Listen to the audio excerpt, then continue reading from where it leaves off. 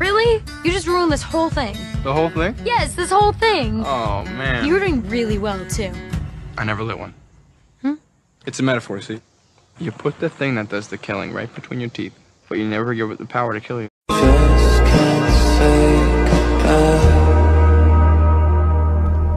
I just wanna be a free.